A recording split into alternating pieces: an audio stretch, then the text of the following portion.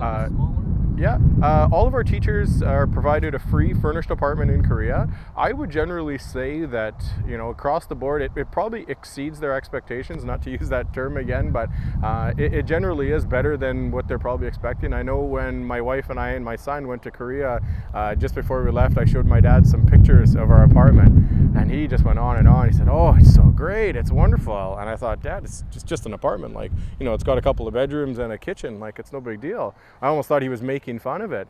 And he said, "No, I thought you were going to be living on like dirt floors and stuff, and like not have walls." I'm like, "No, Dad, it's a first world country. Um, yeah, but it's going to be a, a, lightly furnished apartment."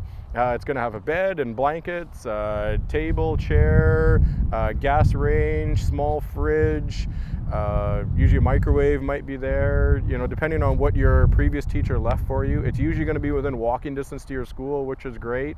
Uh, and the fact that it's free, you know, nobody offers me a free apartment for any job that I'm going to look at here in Canada or in North America, you know, so that off the top is one of your biggest living expenses that you have when, you know, you're living in your Western country.